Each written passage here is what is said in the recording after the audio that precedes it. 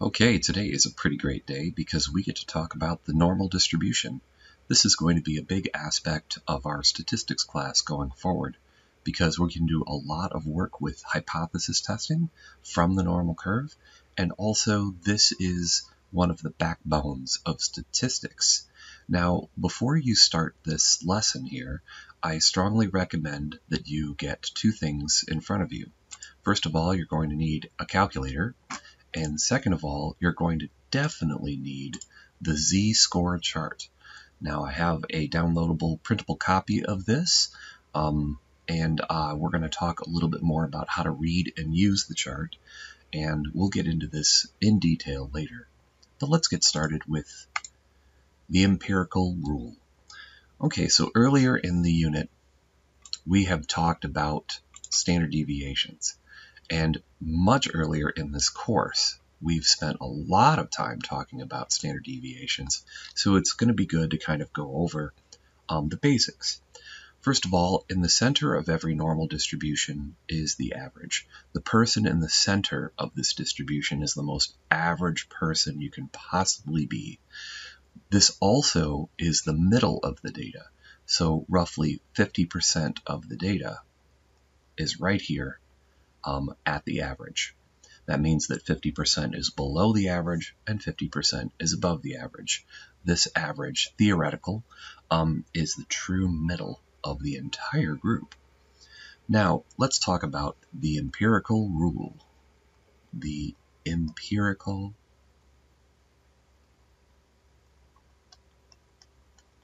rule. The empirical rule is going to basically set up a very um, set and agreed upon percentage for each of these sections inside of this um, bell curve. Between the first standard deviation, so one standard deviation above and below the norm, is roughly 68% of the population. So this determines basically what is normal, and you can't really see me doing this, but I'm using air quotes, normal, um, distrib- you know, normal in this population. So if you're within one standard deviation above and below the norm, which in this case is the average, you are considered normal. So the empirical rule starts off with 68. Now, if we go between these standard deviations. So if you're within two standard deviations, you are 95% of the total population. So that right there makes it pretty easy to say that there's very few people outside of two standard deviations away from the average here. So we're now going to call this 68, 95. Now, even beyond the second standard deviation is the third standard deviation. And if you were going to basically take everybody within inside of this, then this would be 99.7% of the population. 99.7% of the population is within inside this third standard deviation above and below the norm. So there's very few people or very few objects that would be outside of three standard deviations. So one of the more important parts about knowing um, how much percent with is, is with inside each of these zones um, comes down to learning about some subtraction. What I want to show you, and that's this is going to be somewhat important for your homework here, is that within one standard deviation, is 68% of the population. That means there's roughly 34% between the average and one standard deviation below the norm, uh, the norm and 34% above the average to one standard deviation above the norm. You see how the 34 and the 34 add up to make 68. We can use some other subtraction tricks to figure out how much is inside of these next two zones if we go 95 minus 68 and figure out that we have roughly 27% uh, left. So this would be 13.5 between the 1 and the 2 standard deviation mark and 13.5 between the negative 1 and the negative 2 standard deviation mark. So if we add all four of these red numbers together, what we then get is we get 95%, or the distance between two standard deviations below the norm and two standard deviations above the norm. Okay, we can go one step further and figure out how much is inside of each of these by subtracting the 99.7 from the 95. Or sorry, the other way around, 95 from the 99.7. And then what we have there is that remainder divided by 2 will give us 2.35%. 35, not 25. 2.35% in each of these spots. All right. And if you add up all of these red numbers, this would give you the 99.7%. So, and then we can keep going if we wanted to and take that remainder and figure out how much is on the outside of these um, third standard deviations. And that would be very, very, very, very small. This is 0.15. And this here would be 0.15. So the chance that you would be three standard deviations above the norm um, is less than a percent. And over here, because you would, again, this isn't, oh, this isn't even 1%, it's actually 0.115%. So all of these red numbers in percents would add up to uh, 100%. So the chance of you being out here, it isn't even 1%, it's 0.15 percent, which is just really, really, really small. Move the decimal two spaces to the left to see that. All right, well, it's time to put down some more notation because now our x is going to belong to da da da the normal distribution.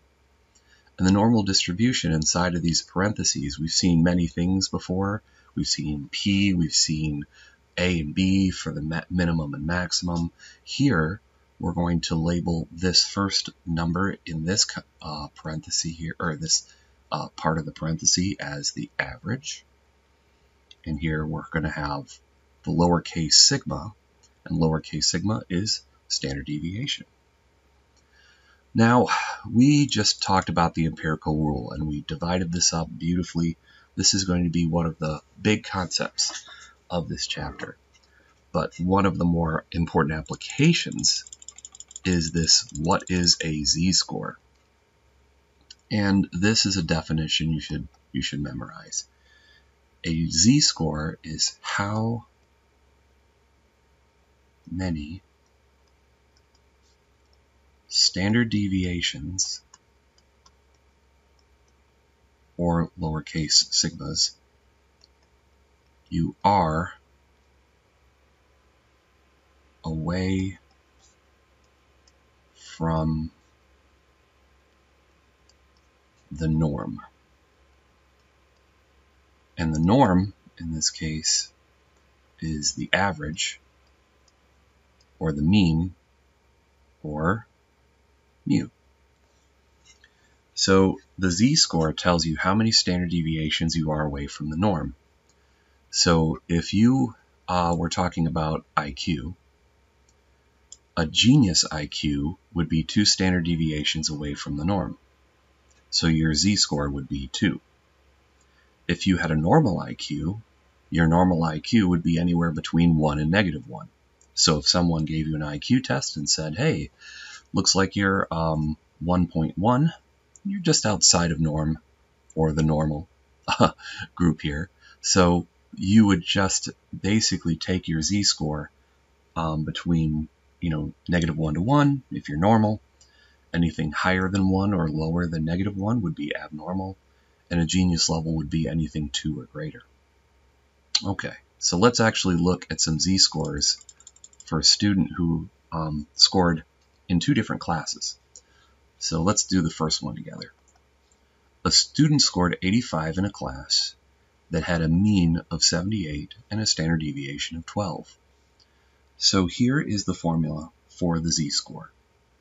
The formula is going to be z equals x minus mu divided by the standard deviation. That's the z-score formula. Pretty straightforward. Let's explain what each of these letters represents. The x is your data point. So a, student, a student scored 85 in a class that had a mean of 78. So this is our mu. And a standard deviation of 12, lowercase sigma. So here, my x belongs to the normal distribution with a standard deviation of 78, sorry, an average of 78 and a standard deviation of 12. Now we're going to plug in these numbers and see what we get. We are going to say this is now 85, my score, minus 78, so I did better than the class average, divided by 12, which is the spread of what was normal in that class. So let us go and do the work. 85 minus 78 is 7. And then we have 12 in the denominator. 7 twelfths is 0.583. Now, what's very important about this is this is your z-score. That is z. This, I know we've been doing a lot of percentages, but this z-score is not a percentage. So not percentage. This z-score is 0.583, which means that you scored normally. If we look back up at our normal curve, 0.583 puts us right here. And uh, let me just put a gray triangle about where 0.583 is. Okay, there it is. And that 0.583 is literally between mu and one standard deviation. So it's a above average score, but it's still normal. All right, let's look at another student's test and let's change colors here so we can keep track of where we are. So this is another situation. The student also earned 80 in a class that had a mean of 86 and a standard deviation of 10. So what I'd like you to do is I'd like you to pause the video and try to fill out this notation And I'd also like you to try to fill the correct numbers here into this um, z-score formula. Okay, hopefully you've um, paused the video and done that. All right, so in this case, the student scored an 80. That was their X. In a class that had a mean of 86. Okay, so this person in this class did below the class average, and the standard deviation was 10. All right. So here we have 80 minus 86 divided by 10. So the numerator is negative 6. The denominator is 10. And we can reduce that down to 3, negative 3 fifths, but as a decimal, this is negative 0.6. This is very important to understand again. This is not a percentage. This is not a percentage. This is the z-score. Now, I forgot to mention this up here. This is going to be my 86. This is the average of that class right there. And the standard deviation of the class there. Okay. Now, this negative 0.6 is not a percentage, but this doesn't speak too badly to the student because even though the student did below the norm, negative 0.6, which is a little bit to the, whoops, don't do that to me, pen. All right, maybe I can fill this in here a little bit. All right, sorry, this got a little messed up. There we go. But this negative 0.6 here, you can kind of see that it is right there inside this first uh, zone of normality between the first and negative first standard deviation. So even though the student did below the average or below the norm, the student, um, you know, still considered normal. Okay, so now we have to kind of put this all together to wrap up this video. So the first z-score, we found from looking at our z formula was 0.583. This z-score at 0.583 told me that the x test score, which was 85, is our one test score, was 0.583 standard deviations to the right of the mean 78 in that problem. So this positive z-score was 0.583 standard deviations to the right of that average. Now, let's uh, contrast that to this one here. This second z-score of negative 0.6 tells me that my test score of 80 was 0.6 standard deviations to, to, to the left. Now, what's important about that is that I could have put the negative here, and then I would say, instead of telling direction, since the negative would tell me I was going to the left, I would say negative 0.6 standard deviations away from the mean.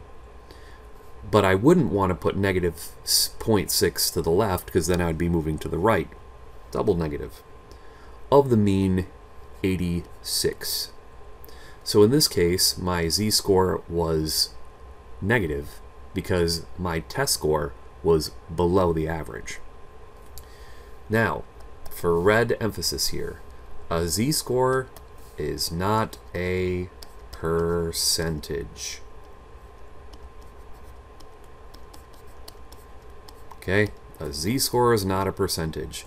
I know you might see the 0.583 and think it's 58.3%, and the z-score here is negative 0.6 and think it's negative 60%, but it's not a percentage. But we can use the z-score to find percentile. And that's going to be the focus of the remainder of this entire section, is to take that z-score and turn it into a percentile, which will tell us the percentage under that given point. Now, I've warned before you watched all these videos is that you print off or have in front of you a z-chart. Now, I've provided a z-chart here. Uh, this is a zoomed in version of the one that I provided for you, and I'm going to be teaching you how to read this chart um, throughout the next video series here. Uh, very importantly, this is um, this is a pretty big skill. I mean, you will be able to use some technology to help you, but what we're going to do is we're going to take a look at, let's say, a position um, on this chart. Let's just say we're going right to the center here with mu. Okay, that's mu. So this is a little preview of what we're going to do in the next video.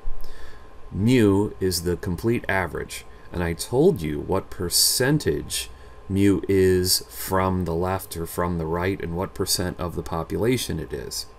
So if you go back to the beginning of the video, you can see that. But first of all, just, just think about this. How many standard deviations is mu away from itself?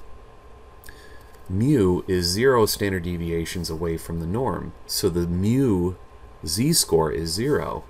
That means the z-score at zero is 50%, which is what I said at the beginning of the video. An average person has 50% of the data below them and 50% of the data above them. And we're really going to dive into this in the next three videos. So thank you for watching and keep up the great work.